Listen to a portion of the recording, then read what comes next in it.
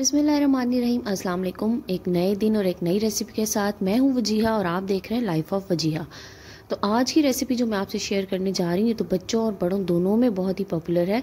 तो हम आज बनाने जा रहे हैं जनाब, जैसे कि आपको सामने अभी दिखाई भी दे रहा होगा चिकन चाउमिन या आप इसको चिकन नूडल्स भी कह सकते हैं या स्पैगेटी भी कह सकते हैं। ठीक है जी, चलें स्टार्ट करते हैं। बिस्मिल्लाह सबसे पहले यहाँ पर मैंने ले लिया चिकन इसको मैंने स्ट्रिप्स की शक्ल में जो है वो बारीक बारीक काट लिया और इसके बाद इसको मैंने धो के खुश कर लिया। अब इसमें मैंने ऐड कर दिया नमक। यहाँ पर मैंने नमक ऐड किया तकरीबन हाफ़ टी स्पून नमक आप अपना हसब ज़रूरत भी डाल सकते हैं जितना कि आपको इसमें पसंद हो, क्योंकि आगे जाके नमक मज़ीद जो है वो सब्जियों में भी ऐड होगा। नमक डालने के बाद इसमें मैंने डाल दी सफ़ेद मिर्च या वाइट पेपर वाइट पेपर से कलर बहुत अच्छा आता है, इसलिए ऐड कीजिएगा ज़रूर, और इसके बाद मैंने इसमें ऐड कर दिया सोया सॉस और ये सोया सॉस भी तकरीबन इसमें मैंने ऐड कर दिया एक टी इससे ज़्यादा भी आप डाल सकते हैं, लेकिन फिर नमक की क्वान्टिटी अपनी चेक करके रखिएगा क्योंकि इसमें ऑलरेडी नमक होता है। और ये डालने के बाद नेक्स्ट मैंने इसमें शामिल कर दी ब्लैक पेपर यानी कि काली मिर्च, और ये भी मैंने एक टी ही इसमें शामिल की। तो जनाब ब्लैक पेपर भी डल गई, उसके बाद इसको बाइंड करने के लिए इसमें मैंने एक टेबल स्पून कॉर्नफ्लावर ऐड कर दिया और इसके बाद इसको कर लिया अच्छे से मिक्स ताकि तमाम चीज़ें जो हैं, तमाम मसाले यकजान हो जाएँ और इसको शामिल कर लेने के बाद मिक्स कर लेने के बाद हम इसको मैरिनेट करने के लिए रख देंगे तकरीबन एक घंटे के लिए फ्रिज में। आप इसको बाहर भी रख सकते हैं, क्योंकि आजकल मौसम जो है वो ठंडा है। अच्छा इसके बाद हम स्टार्ट कर देते हैं अपनी कुकिंग तो सबसे पहले मैंने पैन में डाल दिया ऑयल तकरीबन तीन टेबल स्पून के करीब ये ऑयल है और इस ऑयल को थोड़ा सा गर्म होने दीजिए। उसके बाद इसमें हम डाल देंगे लहसन और अदरक का पेस्ट ठीक है जी? चॉप लहसुन, अदरक या लहसन, अदरक का पेस्ट जो भी हो आप एक टेबल स्पून के करीब इसमें डाल दीजिए। और इसके बाद इसको कर लेंगे हम अच्छे से मिक्स और मिक्स करने के बाद अब इसमें हमने ऐड करना है अपना मैरिनेटेड चिकन और चिकन को यहाँ हमने फ्राई करना है जब तक कि उसका एक अच्छा सा कलर ना आ जाए। तो अच्छे से कलर से मुराद मेरी हरगिज़ ये नहीं है कि आप यहाँ पे उसको बिल्कुल गोल्डन ब्राउन कर लीजिए, बस आपने चिकन इतना फ्राई करना है कि उसका जो ये वाला कलर है, जो कि कच्चे चिकन का कलर है, वो ख़त्म हो जाए और उसमें वाइट टच आ जाए तो हमने वहाँ तक इसको चिकन को इसमें पकाना है। लेकिन बीच में हमने एक और इन्ग्रीडियंट भी ऐड करना है और मैं आपको अभी बता देती हूँ। ठीक है जी? तो जनाब, ये डालने के बाद हमने करना ये है कि हमने लेनी है हरी प्याज। हरी प्याज के दो हिस्से होते हैं, एक होता है ग्रीन वाला पार्ट और एक होता है वाइट वाला पार्ट तो यहाँ पर हमने हरी प्याज का जो वाइट पार्ट है, यानी कि सफ़ेद हिस्सा जो है, वो हमने यहाँ पर ऐड कर देना है और चिकन को इसके साथ फ्राई कर लेना है। यानी कि चिकन को लहसन, अदरक और हरी प्याज के वाइट पार्ट के साथ फ्राई कर लेना है और ग्रीन पार्ट हम बाद में यूज़ करेंगे, ठीक है?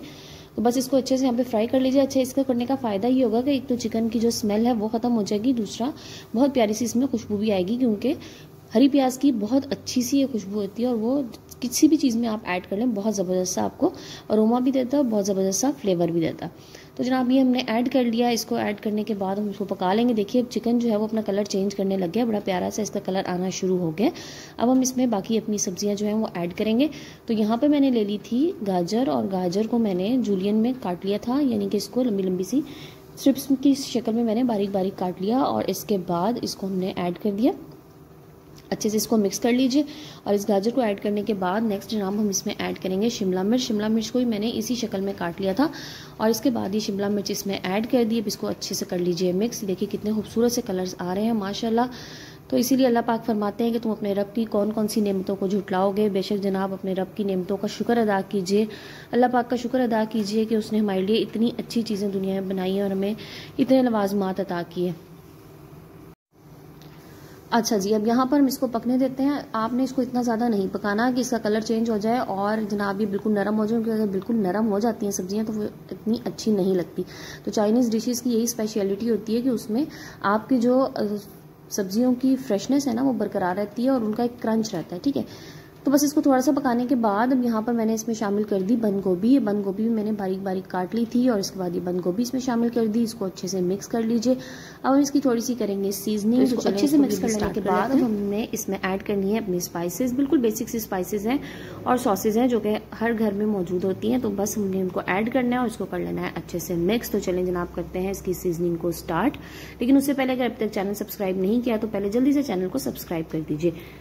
अच्छा जनाब तो यहाँ पर अब मैं इसमें शामिल कर रही हूँ। सबसे पहले तो नमक। तो नमक हमने सब्जियों के मुताबिक शामिल करना तो मैंने यहाँ पर भी इसमें तकरीबन हाफ़ टी स्पून ही नमक शामिल किया, क्योंकि ऑलरेडी चिकन में नमक मैंने ऐड कर दिया था शुरू में, ठीक है? तो नमक डाल दिया, और नमक डालने के बाद हम इसमें शामिल करेंगे ब्लैक पेपर यानी कि काली मिर्च। तो काली मिर्च आप हसबे जायका और हसबे ज़रूरत ऐड कीजिएगा। इसके बाद इसमें मैंने शामिल कर दी जनाब थोड़ी सी और सोया सॉस। सोया सॉस डालने के बाद हम इसमें एक हिडन इंग्रेडिएंट शामिल करेंगे। जो कि होगा चिकन पाउडर लेकिन उससे पहले मैंने इसमें डाल दिया विनेगर यानी कि सफ़ेद सिरका. ठीक है, सिरका ऑप्शनल है, आपकी मर्ज़ी है, करना चाहे तो कर लीजिए, नहीं भी करेंगे तो कोई इशू नहीं होगा. तो इसके बाद ये चिकन पाउडर भी इसमें शामिल कर दिया. चिकन पाउडर शामिल कर लेने के बाद जनाब हम इसको कर लेंगे अच्छे से मिक्स और मिक्स करने के बाद हम इसमें ऐड करेंगे अपने नूडल्स अच्छा नूडल्स के बारे में आपको बता दूँ, मैंने यहाँ पर लिए थे एग नूडल्स उनको मैंने बॉईल कर लिया था पानी में नमक और एक टेबल स्पून के करीब कुकिंग ऑयल डाल के. और उसके बाद उसमें मैंने ठंडा पानी गुजार दिया था ताकि उसमें जो है ना, एक जो चिपकने वाला एलिमेंट होता है वो ना रहे और बिल्कुल अलग अलग से रहें, ठीक है? तो ये देख लीजिए कितने अच्छे से बॉयल हुए हैं मेरे पास नूडल्स इनको मैंने इसमें ऐड कर लिया।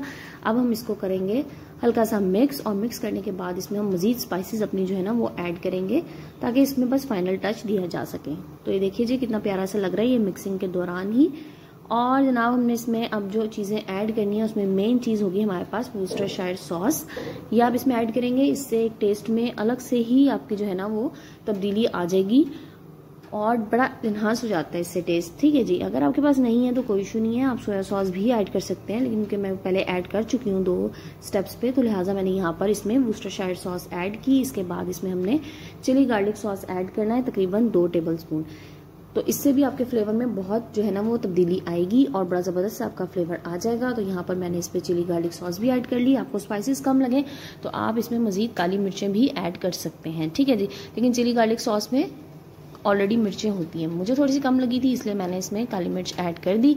इसके बाद जनाब, हम लास्ट इसमें जो चीज़ डालेंगे, वो होगा हरी प्याज का ग्रीन पार्ट ये एक बहुत ज़बरदस्त सा इंग्रेडिएंट है इसका। एंड पे इसीलिए डालते हैं ताकि ये बिल्कुल क्रंची रहे और बस इसके बाद इसको कर लीजिए अच्छे से मिक्स फिर आप इसको करेंगे सर्व हमारी डिश रेडी है, ज़रूर ट्राई कीजिएगा। मुझे दुआओं में याद रखिएगा। जजाक अल्लाह अल्लाह हाफिज़।